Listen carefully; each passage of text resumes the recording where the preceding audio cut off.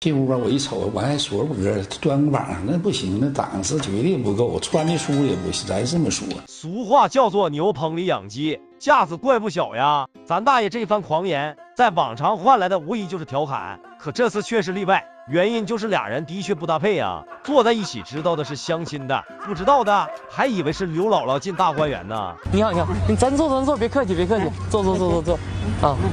哎呦，咱这人不少啊！哎，你给我们，那两个是朋友啊。您您相亲咋还想那个就带带这么多人呢？自己不不太好意思呀？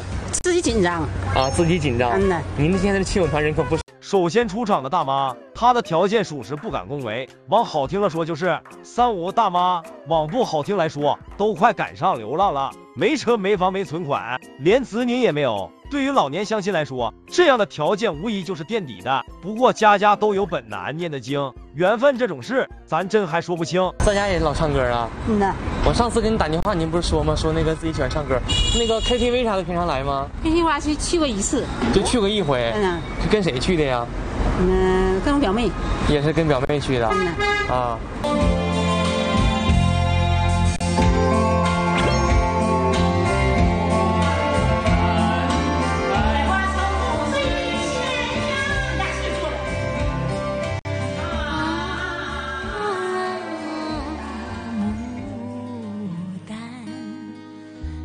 花。丛中最鲜艳。真是小姑娘出嫁头一回呀，还没开始相亲呢，咱红娘先领着大妈去唱歌了。一方面是想圆了大妈的梦，一方面是大妈太过于自卑，连和红娘的基本交流都有点难以打开心扉，这无疑不利于接下来的相亲呀。不管咋说。咱人穷志不穷，幸福都是靠争取来的。咱刚才不是在那个 KTV 里，我看你唱的不挺高兴、挺开心的吗？嗯，能看出来你挺愿意唱歌的。挺愿意唱歌啊。然后那个，感觉你自己唱的就挺好的，为啥就是不不太愿意展示自己啊？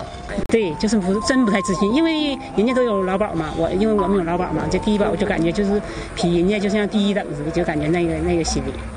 现在我听那个那个看电视不也是一般都要求那个医保都是那个像单位里头，我要有的话那也不能找对象这么费劲，真的。啊，觉得自己经济基础上没有别人高，可能相对来说。对，就是嗯呐，就感觉自卑一点，多少有点自卑。嗯，我是那个离异的，就是我们过了整七年，因为没有孩子，那个离的婚。那我看您就是之前跟这个爱人在一起过的时候，俩人都挺好的，各方面感情。嗯，挺好的。咱大妈这一番话，无疑是反映了部分婚姻的弊端呀，那就是丈夫上班，妻子在家相夫教子，没有任何工作能力。虽然这样的生活看起来十分甜蜜，但对于女性来说，一个好的经济基础无疑是自己的保障。咱大妈悉心照料丈夫，结果离婚后自己却是一无所有。你们是不是老干活，经常工那个收拾卫生啥，收拾还也不错。对。嗯，我要是一般时候都是那个地，一般的时候一般推一遍，有的时候那个基本基本上，反正要是干啥的话，都是两遍，早晨推一遍，晚上推一遍。要求身高一米七到一米七五，嗯，身体健康，有楼房的，那个有有劳保，工资两千五到三千，嗯，嗯，那身体好一点，嗯，没有三高，啊，不抽烟，少喝一点酒还可以，嗯。那个正经过日子，就是实实在在的，嗯，不要那个花说柳说那种，嗯，嗯，因为我是实实在在过日子的人，嗯，不会说是那个想要说是今天过你过了，就是嗯干啥看你不好说是明天就走那种，不是那种人，就是实在在过日子，就找这种，嗯，真心实意过日子人。我那个是这样，我看您就是自己这个要求定的都挺明显的呀。嗯，就是您自己心里有想。我我就是按这个标准的。要说择偶要求，咱大妈也是十分务实。但对于明白人都能看得出来，大妈想找一个老伴，很大一部分原因就是提高一下自己的生活品质。而她的优点就是会过日子，是干活的好手。除了这些之外，大妈并没有任何王牌了。依照以往的相亲案例来说，这样的条件。估计也不太好找。一天收拾几遍呗？一天呢，早晨一遍，晚上晚上就整一遍。天天整两遍？对。我看咱俩唠嗑还总吃饭，那个吃饭一天吃三顿呢？三顿，天天都吃。天天三顿，天天做。那没啥事就自个儿就做点饭。你给我看看呗。看看啊，做啥饭。哎，这个书房也不太大。啊，这是燃气的还是电动的？燃气的，是不是？现在是煤气的，他还没整呢。今年说整没整到现在？今年刚弄啊。嗯。儿女平回来勤不勤？不回来，一般没有时间。没有时间回来。没有时间回来。哦。一天老忙了。我看看他做点啥菜系，我看这冰箱都不小啊。今天点的特啥？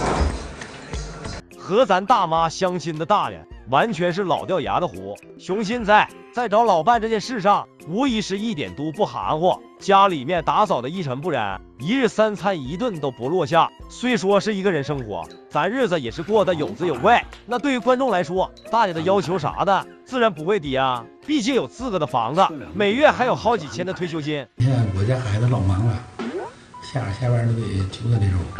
忙啥呀？天天九点钟上班。他是我那个我那个整双眼皮的，纹眉啊，微整对纹眼线的啊，用美甲减肥的，开这玩意儿哦。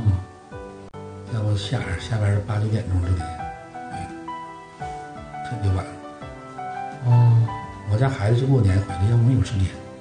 就平常您过去看他们？嗯，我估计也得在加油站，也没有时间。啊，都忙。对，都忙了。那你小外孙子呢？小外孙子上学。小的时候，女儿无疑是父亲的小棉袄，但长大后，无疑就是断了线的风筝，必须得撒手了。虽然儿女们事业有成，但对于大爷来说，他想要的无疑是简单的陪伴。所以现在找个合适的老伴，无疑是最好的时机。在要求上面，大爷只是要求简单唠嗑，做饭啥的不是啥大问题。那按照这个条件的话，无疑是闭着眼不抽挑。找一个老实巴交的，不能找咋呼啊，话少一点的。对，为啥呀？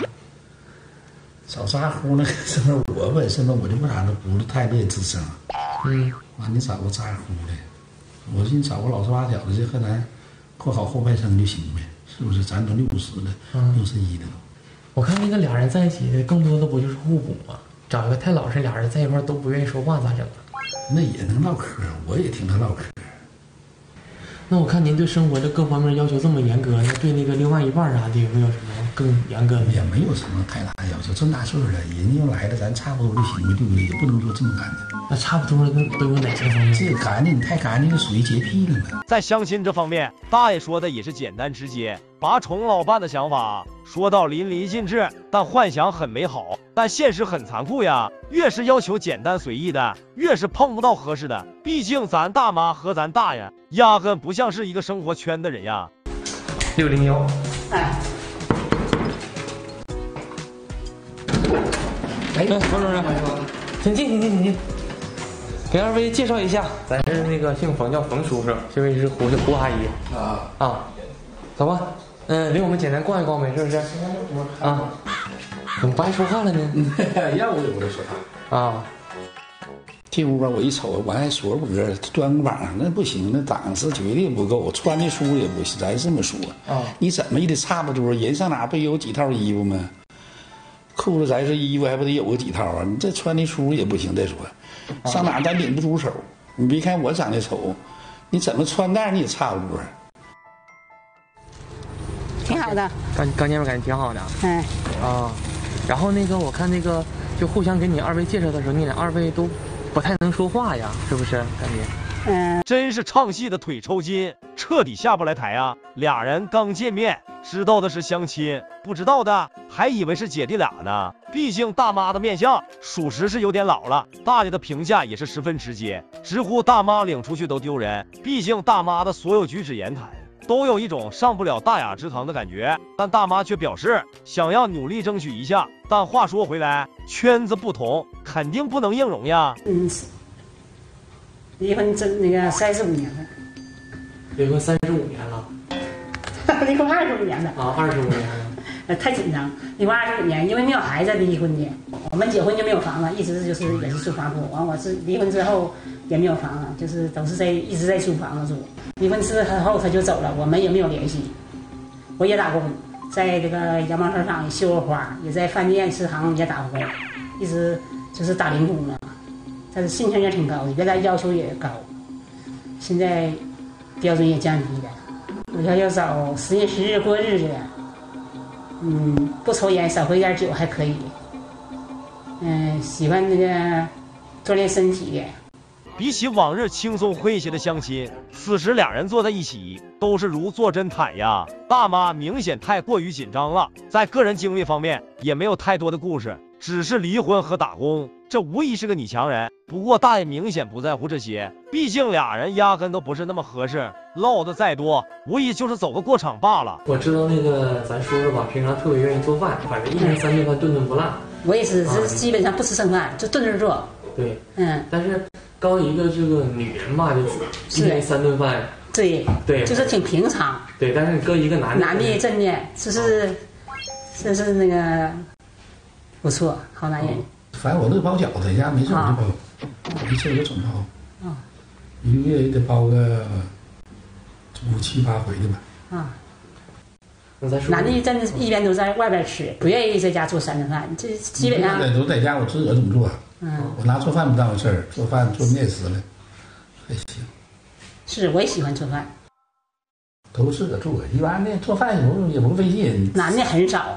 对于咱大爷，咱大妈此时依旧有一丝念想，说话方面明显是顺着咱大爷的意思。对于观众来说，没有金刚钻，压根揽不了瓷器活呀。咱要是自己真的没啥条件的话，完全可以告诉红娘，让红娘帮忙筛选一下。但此时的起步。属实是有点高，别说争取了，只能算是积累相亲经验了。俩人整完一个心，往往一个往一处想说，也别说分出过日子，也别分出你我来，对不对？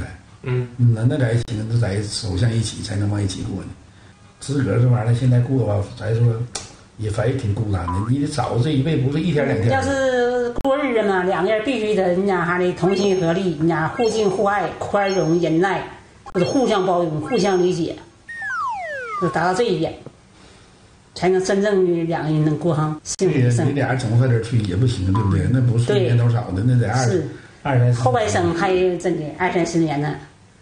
嗯，过日子这边我了解了。那那个啥呢？平常生活上呢，或者脾气上呢？我看俩人没我没脾气啊。你看我和俺家我老伴儿前，我也没有脾气。俺俩就那不不红脸都。大妈是蚕宝宝的嘴，出口成诗，顺着大爷的择偶要求，发挥了一些自己的见解。虽说大爷说的十分简单，但不意味着人家真的十分随便。他想找的，无非就是稍微有点条件，看着顺眼，知书达理一点的。这些咱大妈显然不符合呀。而大妈想找的，就是条件比他好一点的，道不同不相为谋呀。他说他会做饭，做这做那的，那都，嗯，这个点有点优点。啊，我这人来咋的？就我没听听说，你换着做饭，谁有空谁做，你不做我就做。像他，他得上班最后我和他走向一起，他得上班没有钱交，也没交社保，社保现在可交不起，现在钱太多。嗯，也得好，也得不少，是不是？对，十三四万呢，现在可交不起。大伙姐妹一凑也得交个劳保。你看没有房子你好整，没有劳保你好整。那三十万大伙姐妹那凑不起，是是谁家不都有儿女家啥的？这人家都有，也有人家讲啥的生活嘛，哪能不像说三万两万的那样的？嗯，所以我觉得钱不钱其实不是太重要的，重要你上班，你到时候你可能工资还个有低保，生活费也够了。正常咱姐这个生活状态其实也还可以，其实还是还是更多的注重生活质量还是好。对。对吧？你说钱多了少了啥的，其实我不在乎钱多钱少，但是呃，人家瞅这人的顺眼，真心实意过日子，人家啊。如同刚才所说，俩人压根都不是一个圈的人。大妈还表示想努力争取一把，果然在养老保险上面马上就发生了分歧。对于大爷来说，养老保险不是啥大问题，没钱几个人凑凑就行了。但对于大妈来说，这是难于上九天。大爷不知道大妈的苦，大妈不知道大爷的富，所以刚见面得知大爷没相中的时候，大妈就应该换下一个呀。你现在没有老板，可就一瞅吧，我说话咱干啥？嗯，他这个一整的，我俺俩档次不是一个档次，就感觉生活不在一个品质上。嗯，你是这么想的对吧？对。那你有没有想过，其实我感觉阿姨这个品质还挺好的，您感受到了没有？对，因为我知道我是才这么说。好像有话，嗯，不想不是不想表达出来那种，就是在心里装的那种。啊，嗯，那你生活当中更愿意跟什么样的人去接触？我愿意就是还是把那个心里的话说出来，这种人接触。你觉得这个能互相好沟通？哦，咱叔叔是这样子的。不是，不是，他是那个，那个心里有嘴不说啊，爱藏心事那种。对，心事太重，我不是他理想的目标。嗯，没看上我啊，就是说还是，嗯，或者是演员方面啊，或者是其他原因，这我就不是不清楚了。嗯，那有没有想着就是再争取一下啥的呀？嗯，不争取的，因为他呢，就是大爷的三观比较清醒，表示大妈是过日子的好手。可俩人明显是不同层次的。但大妈钻进死胡同里了，不是大爷没有诚意，也并不是他没有敞开心扉，是彼此的经济基础以及生活环境都不同。即便凑到一起聊，也聊不出什么门道呀。也不能说大爷要求高，只能说大妈可能没清楚自身的情况呀。橘子即便少了一半，大蒜也挤不进去呀。